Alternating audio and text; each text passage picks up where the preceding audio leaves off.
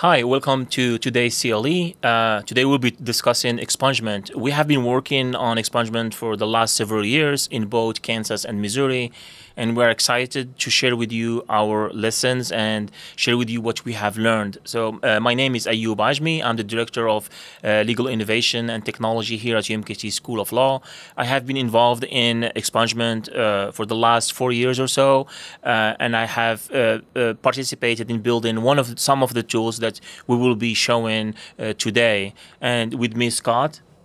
Hi, my name is Scott Stockwell. I'm an attorney from Lawrence, and uh, I am also the co team lead on the Clear My Record Missouri project, along with Ellen Suni, Dean Emeritus at the University of Missouri Kansas City School of Law.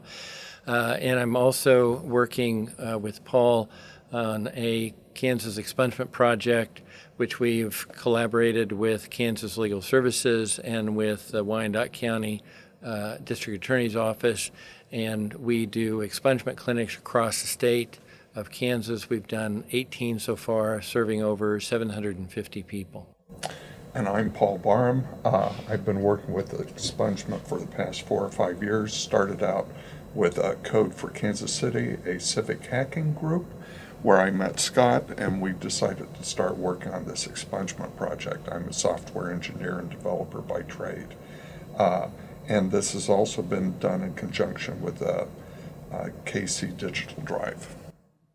Before we start, I want to talk a little bit about why expungement is important. So, Missouri has an incarceration rate of 735 per 100,000, which is higher than the national average. Each year, over 100,000 Missourians are either behind bars or under supervision and more than 95% of people who enter Missouri Department of Corrections facilities are eventually released, with about 19,000 reentering the community every year.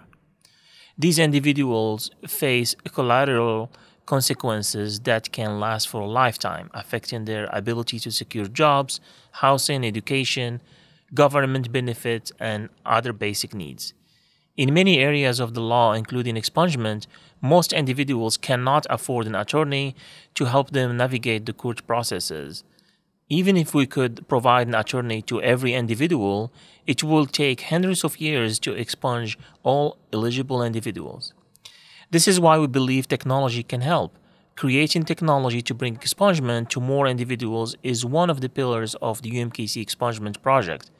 Our goal is to build technology that supports individuals throughout the expungement process Uh, on their own. So we created a do-it-yourself tool that anyone can use to learn about the process, determine their eligibility, and generate court-ready expungement petitions.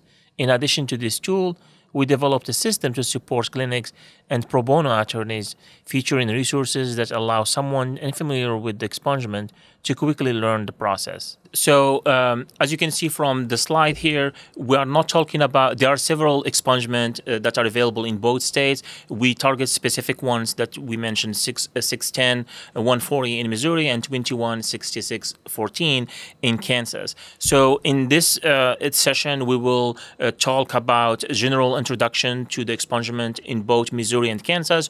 Uh, Scott will take us through some comparison and, and know the differences and the challenges and the opportunities in both states. And after that, we will go through to explain some of the tools that we built and are available in Missouri that we, ho- we hope you will uh, be using uh, very soon. Uh, and after that, we will do a demonstration about the tool in Kansas, and we will conclude by discussing opportunities that are that will be available to you. So, Scott, you want to go and and do introduction for Kansas and Missouri? Very good. Yes. I'm going to begin with an explanation of the similarities and the differences in the expungement statutes for the state of Missouri and Kansas. Uh, when somebody is seeking an expungement, there are basically three criteria that have to be met in order for that person to seek, obtain an expungement. First one is whether or not the crime that they've been charged or convicted of is an expungible offense. The second one is whether or not the individual meets the criteria of a person who is eligible for expungement. And then a third typically is that there are certain time criteria that pertain to uh, when the completion of sentence occurs until uh, the person applies for expungement. Starting first with the basic issue of jurisdiction.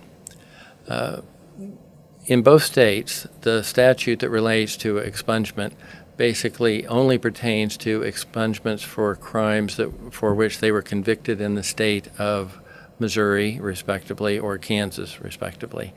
It also does not cover federal convictions as well because there is no federal expungement statute. In terms of offenses that you can't seek expungement for, in the state of Kansas, there's a list of 19 offenses that specifically are not expungible, and they typically deal with uh, murder or with some sexual crimes or uh, crimes involving children. With respect to the state of Missouri, there are uh, scores of statutes that are not eligible, somewhere north of 100, I believe. And they also are in some very general categories, so it's not just simply a list of statutes, although there is a list of statutes, but there's also criteria such as whether or not it was a uh, Class A felony, whether or not it was a dangerous felony. Um, there are several other criteria like that that you need to go down that list in the statute and make sure that none of those pertain to the case. Because some of the categories are general, and one of them, for example, is that it, if it's an ordinance that um, is similar to any of the ordinances or, or, any of the statutes that are listed in the uh, expungement statute, it's very difficult for you to know in all instances whether or not that person is actually eligible for expungement. For example, in Missouri, um, there is a felony assault exception, but there's also a misdemeanor or felony domestic assault. And so, whether or not the ordinance pertains to that uh, might be something that um, would be somewhat of a, a, decision to be made by the judge that is hearing the expungement and not necessarily something that the average pro se litigant or even an average attorney is going to be able to provide the answer to. With respect to pending charges, both states uh, don't allow you to have a pending charge. I believe that in Kansas it's a no pending felony charges. I think in Missouri it might be a little bit broader and, and include any pending cases that you might have. Um, it might be that traffic infractions are not included in that, but I believe misdemeanors are included in Missouri. With respect to intervening cases, in Kansas, you can't have a felony conviction in the last two years. Otherwise, you have to wait for that two year period to pass. In Missouri, the way that the statute works is that basically you start restart the clock. So if you have a conviction from that date, then you go forward as to whether or not you meet the criteria of one year or five years. With respect to sex offenses, um, if you are on the registry in either state, then that would not be somebody who can apply for expungements. With respect to drug offenses, um, again, Missouri has a constitutional amendment in which some uh, marijuana offenses uh, can be expunged and they can be expunged automatically. Not all of those expungements are happening automatically, and so there there is a process that someone can go through to seek application to have records expunged. Uh, in Kansas, um, if you are on the drug registry, then it is possible for you after five years of successful participation, uh, so that requires you to register and consistently, it is possible for you to apply for offenses that are relating to drug, um, if that's the reason why you're on the registry, to have that uh, offense be, be removed from the registry, and then uh, and then you can apply for the underlying offense or other offenses that you're you were otherwise blocked on. You can apply for expungement for those. Uh, there is a form that the Kansas Judicial Council has prepared that allows for expungement uh, and getting off the registry and also expunging the underlying offense at the same time. With respect to guns, uh, many people that uh, go to an expungement clinic uh, identify that the reason that they're doing so is because they want to be able to have a gun or buy a gun. Uh, Kansas and Missouri expungements are not what the federal government considers to be a complete expungement. So it's not a destruction of the records. There are reasons why those records can be referred to in the in the future based upon uh, sentencing or based upon application for certain employment uh, and those, some other court requirements, and so those don't qualify, and so it doesn't get that person off of the federal uh, list of felony convictions. And so when that person, if that person were to go uh, hunting on a federal land and a game warden were to stop them, that person would be considered on the federal level to be a felony in possession, and that's, I believe, a, a 20 year conviction. So uh, it is something that clients need to understand and, and pro, se, pro se applicants need to understand as well. Uh, another example I give, well, besides not being able to um, purchase a gun because of the of the uh, uh, search that is done when that person applies. Also, you know, if there were some reason why FBI were involved in investigation of some kind of a crime and they identified, they had a search warrant they executed in a particular property and that person was in possession, again, that would be a felon in possession, even though the underlying felony conviction in the state no longer existed. Time limits. So uh, for um, Kansas, uh, generally speaking, the time limits are three years for misdemeanor and low level felonies. There's one very minor exception for prostitution uh, of one year and under certain circumstances, five years for major felonies, and uh, for DUI offenses, there are different criteria over time. I believe there's one that's as little as five, but for the most part, it will be seven to ten years for a DUI. In Missouri, it would be one year for misdemeanor and three years for felonies. I may have referred to five earlier, but I believe it's uh, three years for felonies. Uh, the need for expungement is profound in both states, and um, the work that we've done in, in Kansas, for example. Uh, we've worked with Kansas Legal Services. We've developed an application that people are going that, that people are able to use, and that application is very easy to use. And at clinics, we use it to handle um, 40, 50 applications in a day.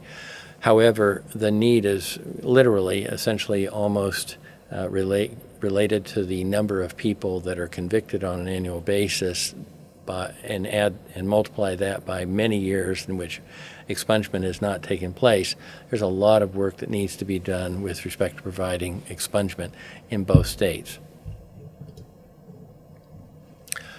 The process, um, so relatively speaking, Kansas has the easier uh, process. Uh, it is a petition that you file in the criminal case, and um, a copy goes to the DA's office. If they run their search and they and they don't object, typically the court will sign the order without a hearing being held, and the expungement is complete. That's also the case in Missouri that you file the case if the, if the prosecutor or other uh, agencies don't object. Uh, it's relatively straightforward in terms of getting an expungement. The problem, however, is that it is a civil uh, case. And so you're filing a new petition, you you have a new case number, you've got to serve every agency that might potentially have the records for that individual. So for a pro se litigant, that's a real challenge of figuring out who do I serve. But even for the average attorney, it's a little bit of a challenge to figure out all the agency you have to serve, make sure the service is done in accordance with civil procedure. Case history. Um, in Kansas, uh, in the last uh, several years, the state system has consolidated the records for uh, 104 of the 105 counties uh, into a system that's called Odyssey. It has a public search function, so you can go to search.kscourts.org, and it's easy to run a search on an individual and find all the cases that are out there for that person. Uh, for those people that have been associated with the uh, with the Department of Corrections. There's a system called KASPER, K-A-S-P-E-R, that uh, has information about those people, whether they were incarcerated or whether they just simply were in in the uh, in the in the uh, Department of Corrections system for even a short period of time. On Missouri side, it's a little bit more complicated. Uh, the CaseNet system is a wonderful system. It's statewide. It provides information regarding many of the offenses, but it doesn't necessarily always catch everything. And so we found that it's almost uh, a necessity to run a Missouri Highway Patrol criminal history search, and, and it's also probably best that that search is a fingerprint uh, record search in order to make sure that you get all of the information there. One of the challenges in Missouri is because you, you can only expunge, at the present time anyway, one felony and two misdemeanors, is that people who have a longer criminal history and, and that not unusual that that is somebody who's sort of stuck in a uh, an economic crime situation where they're they don't have their driver's license and then they get a suspended driving while suspended and then they then they get a uh, uh, no no registration for the vehicle and that just keeps perpetuating itself. So for those people that have multiple crimes, you really need to get that complete medic uh, complete criminal history so that you can identify what is that one felony and the two misdemeanors that that person should apply for. I mentioned service, uh, a little bit of a challenge. Uh, again, that you have to you have to name the Highway Patrol. Uh, it might be the Department of Revenue, um, the Sheriff's Department that, that handled the incarceration, the the uh, Department of Corrections. Uh, the cost in Kansas is $195 for each case which you have an expungement uh, application. In Missouri, it is $225, but that can be one application for one county can include all three of the cases that you're seeking to expunge. Also, you can file a, an, a, financial affidavit in both states, and if they're unable to pay and the court makes a determination they're unable to pay, the fee can be waived. Uh, in uh, with respect to hearings, as I said, uh, it's not necessarily consistent by district or circuit court. So some judges really insist that people show up so that they sort of go through the process, and other courts, uh, if there's no objection, it's simply granted sort of administratively. I'm going to talk about one of the first problems we hit when we started doing expungements, and that was getting good, clean data. One of the first things we wanted to know when a person approached us is whether what they the statute that they were charged was eligible or not, and we did not have a source for that. Uh, we wanted to just pick up the phone and ask someone that, so we built the tool ourselves.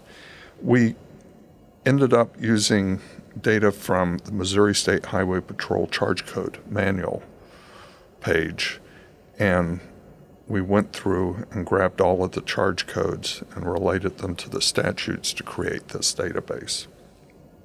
The DOC Sunshine file we found would allow us to see everyone that's been underneath their supervision since 1956. Uh, that is 1.2 million records.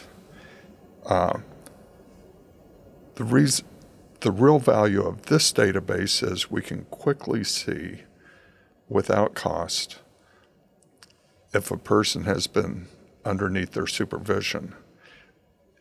And depending upon the uh, offense, we can determine whether we're going to be able to expunge them or not, saving us the step of having to request a state highway patrol, which costs money and takes time to happen. Uh, but the sunshine file by itself is is not that useful in this case.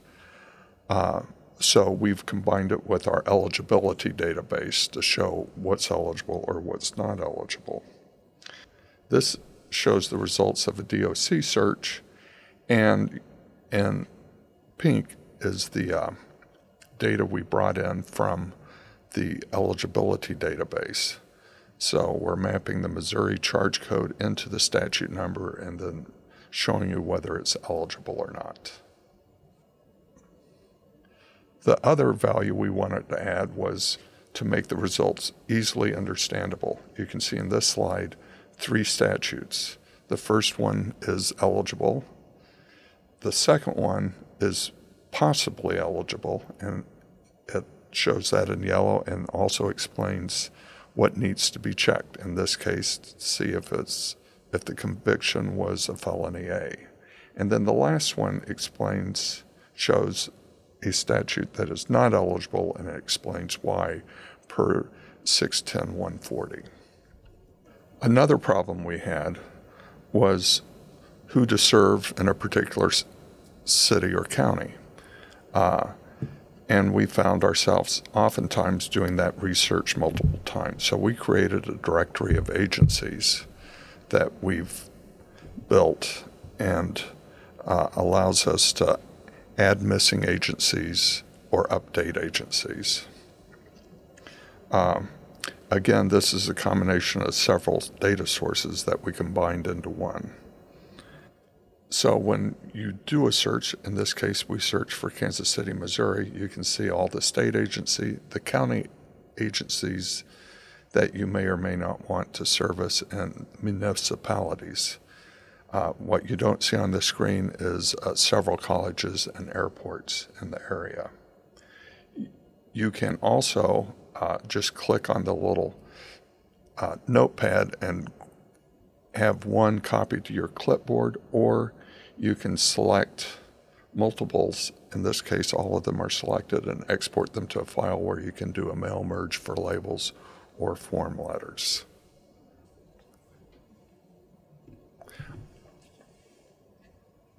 I'm going to cover the petition generator. We had a prototype that we used five years ago, and we we are now in the process of updating it.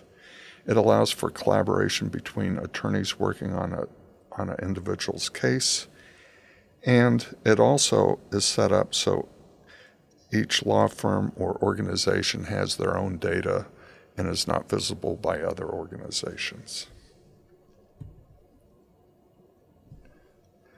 notable functionalities are it allows you to collect an individual's criminal history in one place. You will have to go out, most people go out to CaseNet, also Missouri State Highway Patrol, uh, the municipal courts, and REJIS just to collect data for one individual. And it allows you to do this and track what, where you've collected it from. It also helps you determine the eligibility by going out to the uh, expungement database. This shows, this screen shows our initial redesign concept where we're highlighting more critical information so someone new coming in to work on a case or review a case can quickly see that this person has no previous felonies or misdemeanors and they do have pending cases and blocking cases. It's also structured so it's organized by case and then charges. We're designing this around a clinic situation where the date where the history may already be assembled and that a volunteer attorney comes in and they can quickly see the state of the case. Here they would quickly see that uh, we need to check the parole release date, they would also quickly see that the individual does not have any previous felonies or misdemeanors, but they do have pending cases. Uh, pertinent information is organized at the top of the screen, and then when you get down to the lower portion, it has the cases listed, and then also for each case, uh, what charges are in that case. And again, you can quickly see that the first statute is uh, a misdemeanor A and it's eligible and that they were convicted. This can be used during the interview with the individual, update it, and then once done, they can select from this screen what they want to have expunged or not expunged. And And, af- and the next step would be to print the documents for the petition and supporting, and supporting documents. The public expungement tool is an online guided interview that allows Missourian to generate petitions they need to file for expungement. It is composed of several uh, components, and in, in this segment, I will walk you through the highlight of the the application, and then we will do a quick demonstration.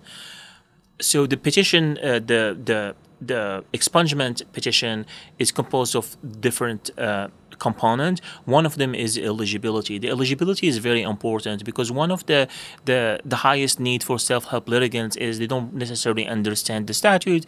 They don't necessarily understand if they are eligible or not. So based on the experience and based on the work we have done in the expungement for the last several years, we ask specific questions that will allow us to know exactly if someone is eligible or not. If they are eligible, we let them proceed and move forward. If they are not eligible, then they don't have to waste their time and start answering all questions just so and in the end we tell them they are not eligible. So this is very important. It saves time for the users and it makes the user experience important.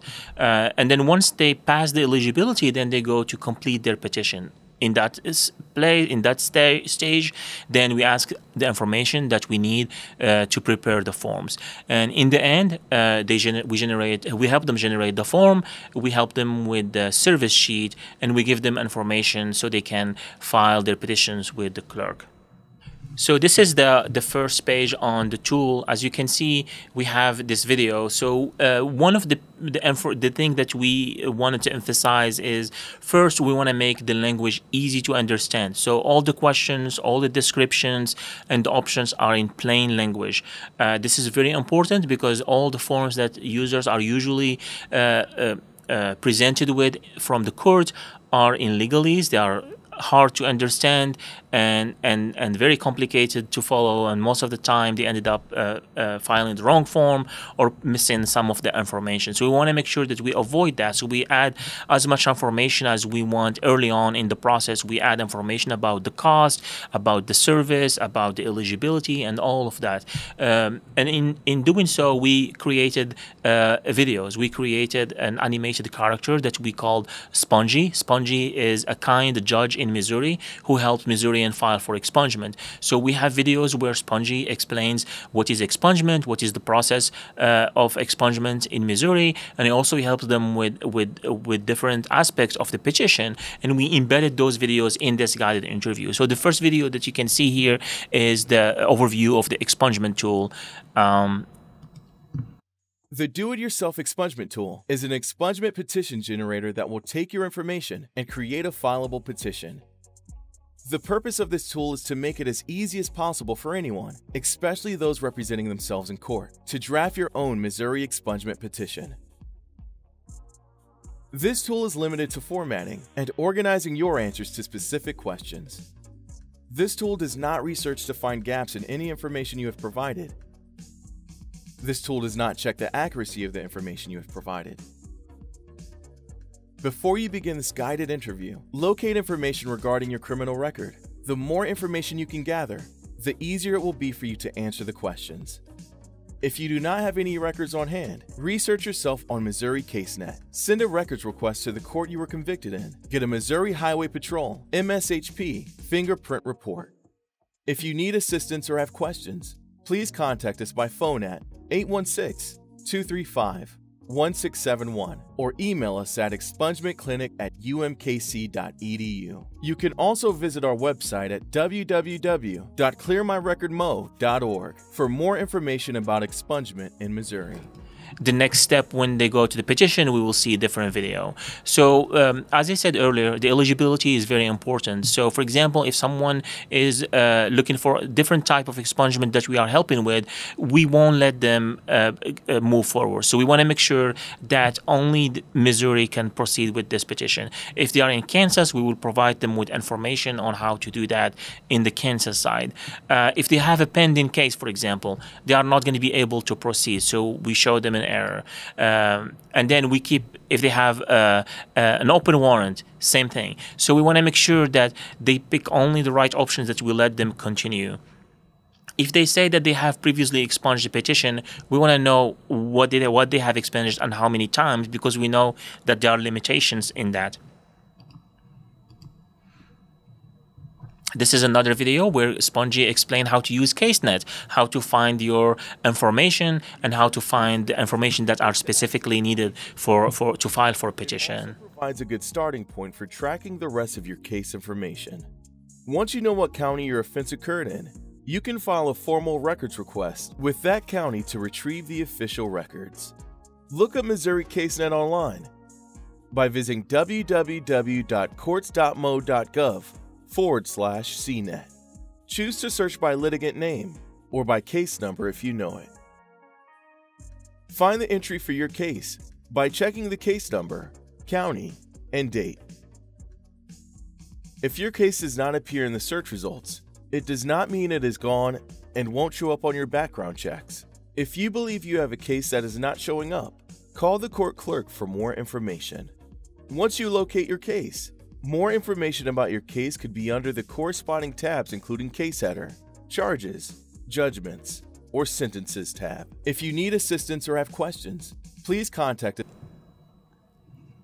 All right, so once you know your information, you can proceed. And in this uh, application, we allow them to add many cases, not just one uh, cases. So they can add as many cases as they want and within each case they have a number of offenses. Then on the next step that's where we start looking at the eligibility of their offenses. Offenses could be eligible and all they have to do is to type the number and then this uh, search box is connected to database that we mentioned earlier. So by adding the the number of the case or by adding the three first digits of the case we look up all the cases the the all the the offenses that are available and we qu- we quickly can tell which one is eligible which one is not. For example this one is not eligible they will not be able to proceed they won't be able to select it. But this one is eligible they can select this one. And if they have more than one offense, we tell we can allow them to do that as well to add as many offenses as they want.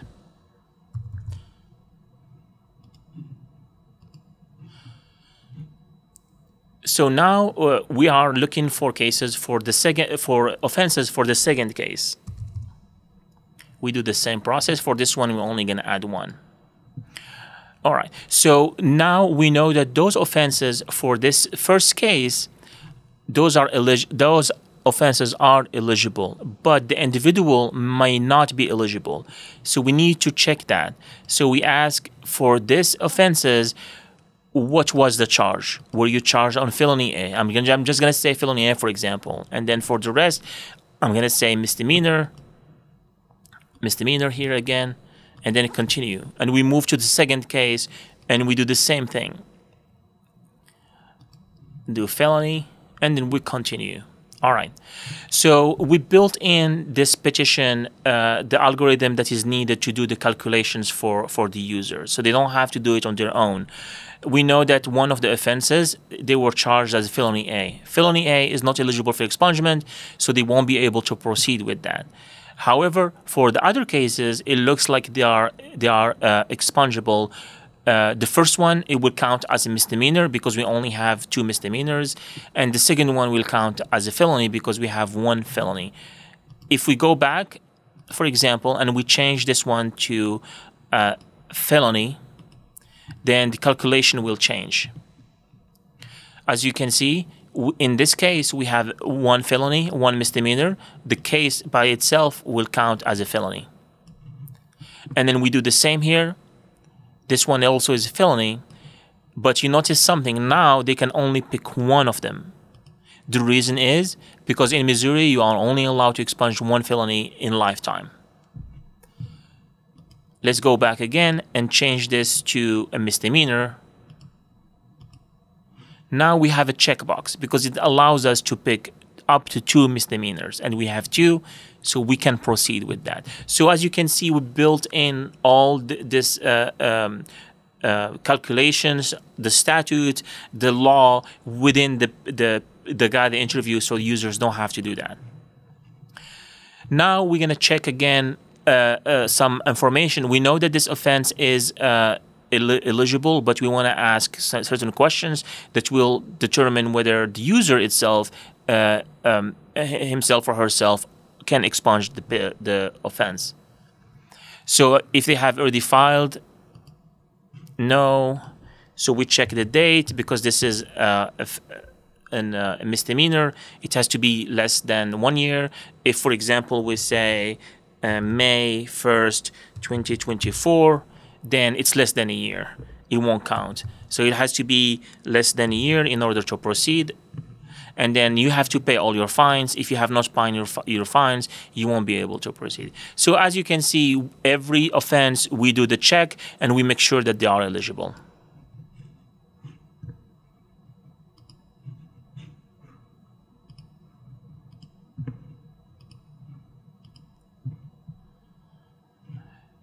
So now, based on the calculations, based on the answers that we provided, in the end, this person can only expunge one uh, offenses and one case. And the rest, they could not expunge them because they either did not meet the deadline, they did not meet, they didn't pay their fines, or um, they have tried within the last year to expunge the same offense and they failed. So now that we have that we know that this person is eligible for expungement, we know that the offenses we picked are eligible for expungement. Now we can move on to collecting the personal information. And then once you uh, uh, type in all the information here, you will be able to download the petition in the end.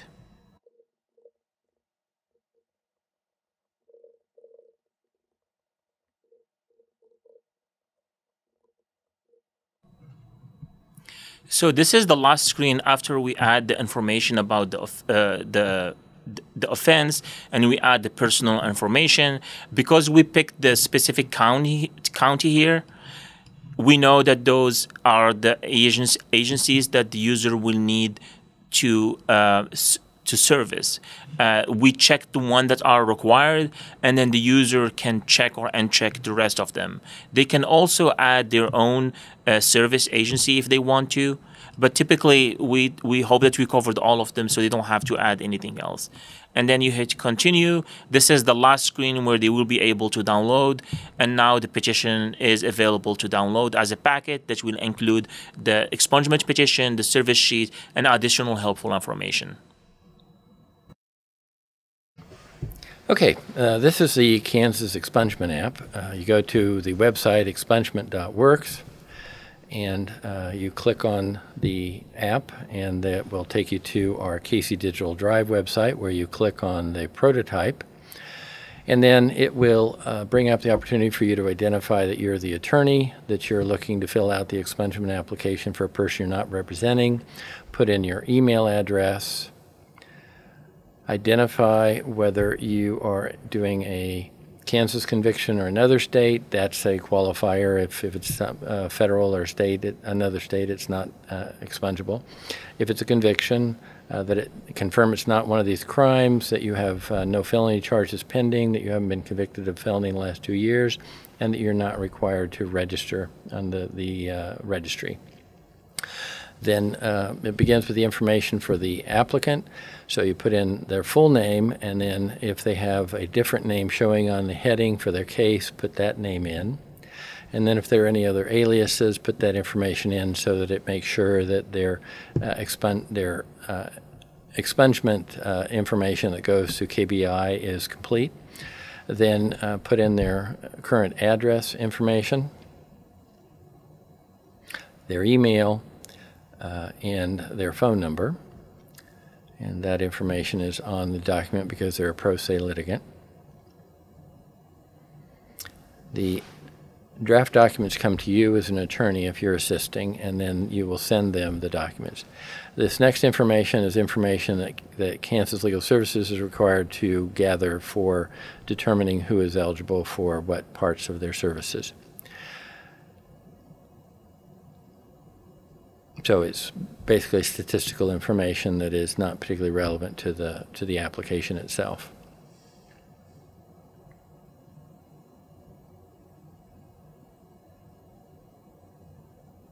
Then we put in the case number that we're actually handling, which you can find at search.kscourts.org. Uh, unless it's a very old case, uh, getting back into the, perhaps the 80s or early 90s. It depends probably on county by county. And then the exact date of the arrest is helpful because that helps the, the police department or the sheriff's department find the records. So putting in that information. Um, then identifying the county in which the arrest took place. Uh, that's important, again, for determining where the records are that need to be expunged. And then it identifies the number of cases, the uh, number of charges within the case, and the severity of it. And then there's a sort of a common description, like breaking and entering in this example. And then uh, the statute number goes below that. You'll find in the Odyssey at, at search.kscourts.org that the case um, or statute numbers are shown uh, in a little bit of a different format, but we just copy and paste those because it's uh, efficient and that's the way the court shows it in their own records. Then uh, adding in the second charge that I identified, and you'll notice that uh, this information regarding what the original charges were may be the same as what actually they're convicted of, so you can just go back and copy and paste once you get that point. Uh, here's a, a, a, question that sort of confirms, again, uh, the length of time you have to wait or, or some other ineligibility issue. And then uh, I've simply identified a, a different charge for the, the amended charge for the conviction and again, uh, the date of conviction is the date of that the plea is taken, not the date of sentencing. Um, and then if it is a uh, drug court or a veterans court or behavioral court, they're eligible to apply as soon as they successfully complete the program. So that's why that question's there, but you're not typically going to have somebody in that situation. And then the date of discharge is the date from which the number of years that they have to wait is calculated. Then, if you want to provide financial information, you may. Uh, that would take you to a set of questions that goes to, onto the financial affidavit. Otherwise, if they can pay the $195, then you just say no and you click submit. And you get this message, and then you will receive an email from uh, the application. It will have the draft documents all prepared for you to review. So in about a minute and a half uh, after you've submitted uh, the information to the application, you'll receive an email like this, identifies the documents that are generated. You can see it here. Uh, you open those up and you'll have an opportunity to edit or, or review them uh, in a um, PDF uh, viewer. And then if there are any changes that are needed, you can return uh, you can return to the email and there's a link there where you can click to edit submission. If this client has other documents or other cases that they need to complete the application for, there's a uh, link for you to click for a new submission. Um, this is just kind of scrolling through, showing you what the document looks like. Uh, it's based upon the Kansas Judicial Council uh, documents, and so it's a very standardized look. Um, and we really have not encountered uh, any problems in terms of district courts being willing to accept them. We do have uh, orders for expungement, for example. I know that Johnson County has their own order, and so they prefer to use that, and I think that might be the case with respect to one or two other counties. This shows you what the poverty affidavit looks like. Uh, this wasn't, wasn't filled out because we didn't take the time but uh, it's basically information on a monthly basis of income, assets, and liabilities. And, and as you can see, in addition to the affidavit uh, for the filing fee, waiver of the filing fee, uh, let's see, finally there, there's where the link is for uh, doing a new case for that individual, and there's the other link for editing the submission. Do the new case instead of the edit the submission first because just the way the software works, uh, it functions better that way. Uh, when you go to a uh, new submission, um, I'm just going to show you here briefly. Um, so you will make the decision again of if I'm assisting as an attorney but not representing the individual, and then as you can see, some of the other information is automatically filled out. So, uh, yeah, there you go. So uh, um, it asks you for the just the changes that you need. There are one or two items that might be omitted that you want to just be careful and make sure that everything is completed. So hope that's helpful in terms of showing how easy the application is to use. So I hope you enjoyed this session. I hope that you learned something new and uh, you are excited about these tools. Um, we are in the process of looking for partners in both Missouri and Kansas to help us with the development, to finish the development, to help us with the testing and other tasks. Uh, so Scott, if someone is interested in in Kansas, how they can help or how they can participate?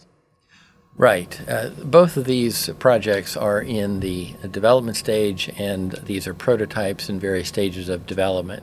On the Kansas side, we have opportunities for volunteers to uh, participate in expungement clinics that are held by Kansas Legal Services. We have some coming up in Johnson County, also in uh, Kansas City, Kansas, but also across the state. Uh, in addition to that, we'd love to have the opportunity to collaborate with private attorneys with respect to their own practice and using the software in that regard. So, uh, if you'd like to participate, love to have you uh, become involved. Uh, our website is expungement.works, and so you can go there, test out the application, but also reach out to us as well. And then in Missouri? We're still in the development phase, and we are looking for people to help us test the application while we're in development. Uh, we're also interested in people that think that they would actually want to use this tool once it is developed.